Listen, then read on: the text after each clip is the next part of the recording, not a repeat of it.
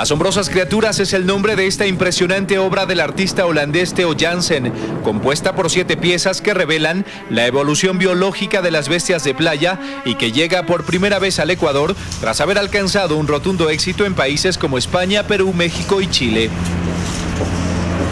Estos son animales extintos a lo largo del proceso evolutivo de las bestias de playa, de los transvest. Y estas son las muestras de los animales que han quedado de su creación. Asombrosas criaturas demuestra que las barreras entre el arte y la ingeniería existen solo en nuestra mente, según Jansen, creador de estas criaturas complejas elaboradas con materiales simples de la era industrial, como tubo o manguera de plástico. Entonces, que el mensaje que quiere transmitir es la dicha que él tiene de la vida, por crear vida, por saberse con vida, y lo que quiere transmitir a la gente aquí es que vengan a visitar su, su exhibición, su trabajo. Esta exhibición estará abierta al público de manera gratuita desde este 12 de octubre al 24 de enero de 2019 en la Fundación Telefónica Ecuador ubicada en el Centro Corporativo Ecopark en la vía Anayón. Cuatro meses abierto al público para que logremos contar con la mayor afluencia de visitantes posible, niños, jóvenes, maestros. Este sábado 13 de octubre a las 10 y 30 de la mañana, el artista ofrecerá una conferencia en el auditorio de la Fundación Telefónica. En Quito, Jorge Loaiza, 24 horas. Les contamos también que varias actividades se han preparado este fin de semana para disfrutar en familia de diferentes espacios de la capital.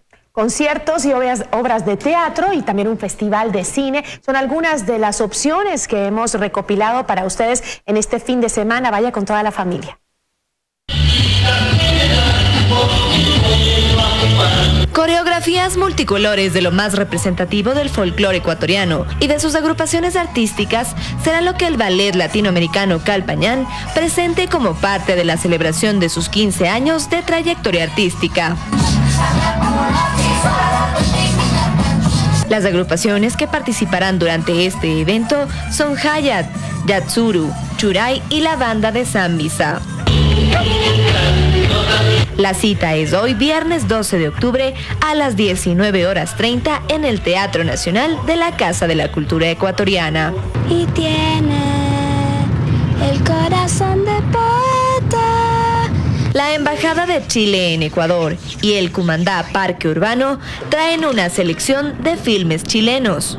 Un amigo de Felipe tiene que dejar su departamento y me lo Taxi para tres, Fernando ha vuelto, de jueves a domingo, son solo algunas de las películas que se presentarán durante los fines de semana del 11 al 20 de octubre desde las 4 de la tarde. Después de un rato te va a pasar lo mismo con cualquier persona. Para mayor información visite el perfil de Facebook del Cumandá Parque Urbano.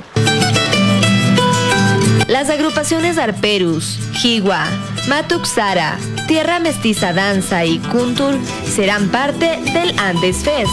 Este es un evento que se realizará el sábado 13 de octubre a partir de las 18 horas en el Teatro Prometeo de la Casa de la Cultura Ecuatoriana. Has de saber, amigo Sancho Panza, que fue costumbre muy usada de los caballeros andantes. Don Quijote y Sancho Panza llegan a Quito con la obra El hombre de la Mancha. ¿Sería entonces Juana Gutiérrez, mi mujer, reina y mis hijos infantes? Con un elenco de más de 30 artistas en escena, promete ser un espectáculo inolvidable. La presentación del musical será el martes 16 de octubre a las 20 horas. La cita es en la Casa de la Música. Angie Torres, 24 horas.